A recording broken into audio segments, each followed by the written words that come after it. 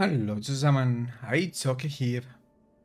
In diesem Video zeige ich euch die Quest Sabotierte Schmieden anzunehmen bei Bergfels der Steinformer in der Sturmgipfel an dieser Position. Äh, Eingang zu dieser Höhle ist ungefähr hier. Vorquest war Faldovan der Ungebobene. Ich nehme die Quest auf während des Patches 9.2.5 mit einem Charakter, der viel zu hoch für dieses Gebiet ist. Das Video sollte euch aber auch in Biotelka Classic helfen.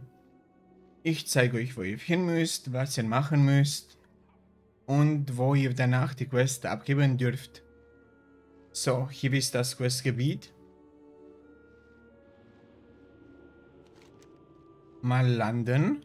Die Mobs töte ich mit einem Schlag. Aber das sollte euch nicht stören. Und das sind diese gesuchten Schmieden. In der Nähe von diesen Teilen müsst ihr das Quest-Item benutzen. Kann man sich auch in die Leiste ziehen. Rechtsklick. Schmiede sabotiert. Hier ist auch noch eine. Quest-Item, Rechtsklick, sabotiert die Zentralblitzschmiede. Die Antwort auf die Nordblitzschmiede. Und jetzt fehlt noch die Südblitzschmiede. Ich mache jetzt nicht bei jeder Schmiede die Map auf, die sieht man alle drei fast auf einem Bild. So, Quest ist bereit zur Abgabe. Juhu. Wir feuern uns, oder? Doch, das tun wir, das tun wir.